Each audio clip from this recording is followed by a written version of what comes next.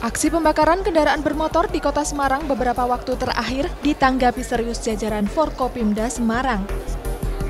Seluruh lurah, camat hingga perwakilan RT dikumpulkan untuk membahas penanggulangan teror tersebut.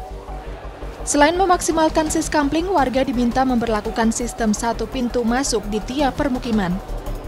Warga juga diminta memasang kamera pengawas atau CCTV minimal satu buah per RT. Uh, saya rasa yang paling penting adalah keterlibatan masyarakat untuk menjaga wilayah. Jadi kalau ada pun banyak pos gambling tapi tidak pernah dilakukan sebagai posko untuk kegiatan uh, pengamanan ya percuma saja. Meski lokasi pembakaran bersifat acak, pelaku memiliki pola sama saat menyerang, yakni beraksi sekitar pukul 12 malam hingga 5 pagi. Kurangnya keterangan saksi dan rekaman CCTV menjadi salah satu kendala dalam penyelidikan. Sangat minim sekali saksi yang ada yang bisa memberikan keterangan masukan pada kami. CCTV juga yang diketemukan di dua TKP, satu Banyumanik, satunya di Menoreh, itu juga resolusinya sangat-sangat rendah.